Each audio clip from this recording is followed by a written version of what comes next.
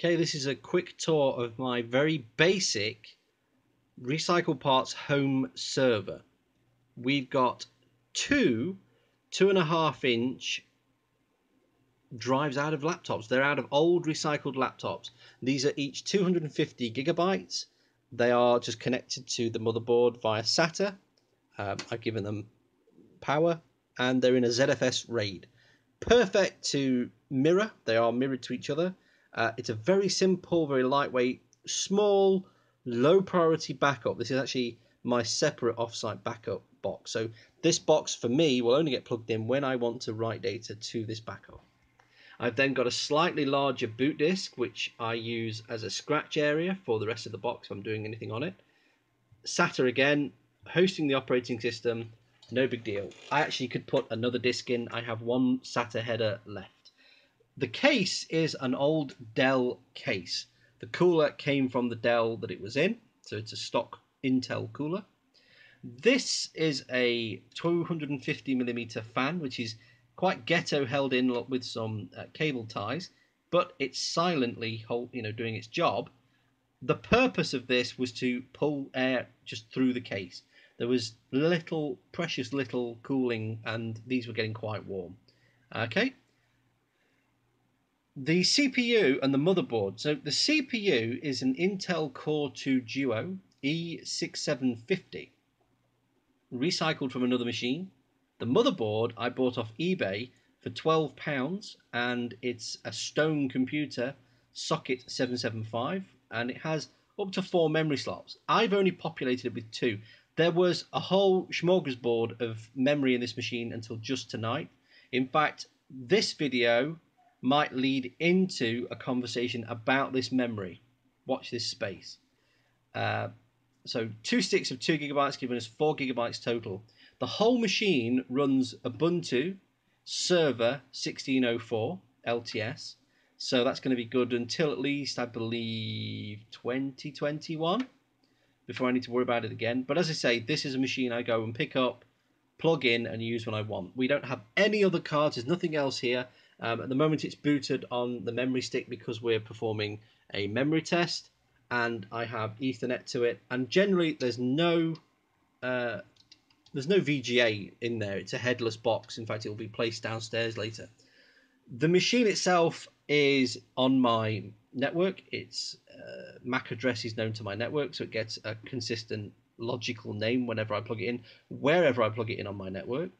And that's it really. There's absolutely nothing special about this machine. You could put this together from any old Dell box you've got, any old recycled PC, anything you want. They are cheapest chips on eBay. Buy the cheapest, oldest, nattiest one just for the case, and then put something else in it. And this is obviously what I would call Core 2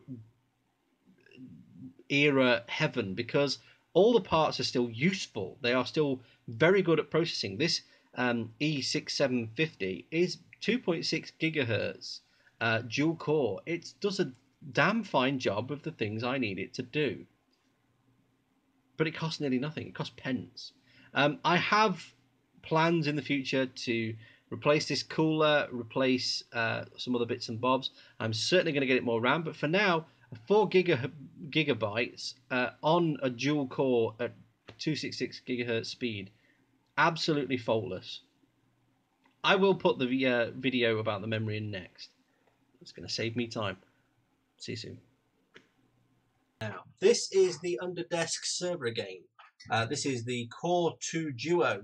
And um, I was going to upgrade it tonight, um, and have. I have upgraded the memory. So this is two sticks of 2 gigabytes DDR2 800 branded Samsung. Okay, um, these came from China. They took about a month to get here. They cost just over four pounds each. In fact, they were four pounds thirteen each. They came in little wrappers like this. They replace the old two gigabytes worth stick total. So I've now got four gigabytes in the box, um, and still got two memory sticks, uh, memory slots empty and they work, or they seem to work so far, as we can see by this test. You have to forgive the uh, ad hoc uh, look here. Obviously, this is my very low resolution camera and this is a flickery old plasma TV.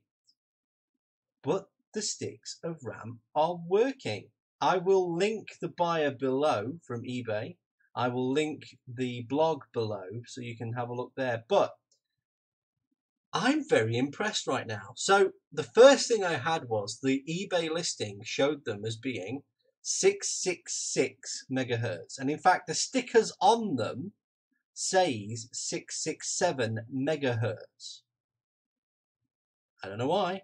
I've plugged it in here. I've done nothing but, but start up a Memtest 86 and they're quite clearly 800. I did pay for 800. It's £4.13. It's a level of money I don't care about. But that's four gigabytes of RAM for £8.26. That's impressive. Now, obviously, I'm living in uh, socket 775 heaven. I'm living in the place where uh, all the equipment is obsolete. It's all pretty old. It's all considered so. But the amount of things you could do with a box like this, this is a perfect starter home server. It's an old Dell box. It's got a recycled 775 Stone PC motherboard in it. It's got a Core 2 Duo E6750, which I will tell you, that's running two cores at 266 megahertz. Sorry, 2.66 gigahertz. That's really nice. It is a really nice little box. This machine now, apart from making me want to buy more RAM and having to share RAM for the graphics, which is why this doesn't say uh, 40, uh, so 4024, whatever it is, uh, you know what I mean, uh, 4096. Uh, it's fine. It's absolutely fine. This is working a treat. So it's currently passing everything so far. Um, I am not going to trust this in production for a while, but I've added a fan. I've put it in a box. I've got three hard drives in there it works. I've actually got two of them as two and a half inch drives, which are recycled from laptops. They're in a mirror on ZFS, so I've got some backup storage, and I've got a larger SATA three and a half inch hard drive that it all boots from and works from. That is completely separate to this video, really. I'll give you a brief tour in a tick but I am just so impressed at this uh, this memory. It's took an age to get here. It took an age to get here, but it's worked out the box.